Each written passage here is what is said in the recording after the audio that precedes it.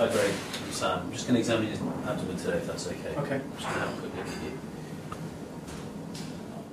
Take a deep breath in, Craig. And out. Can you give me a cough? okay, Craig, I'm just going to have a quick look at your abdomen if that's alright. Okay.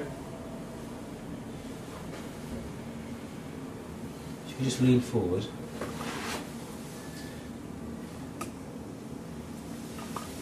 Thank you. Right, Craig, can you put your hands out for me? Let me have a look at them. Can you turn your hands over for me? I'm just going to have a feel of your hands.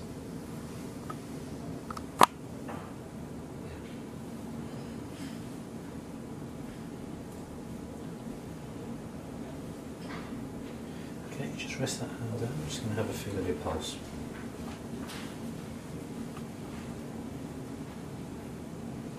Okay, that's fine. If you just turn your hands like this and just cock your wrists up and just hold them there.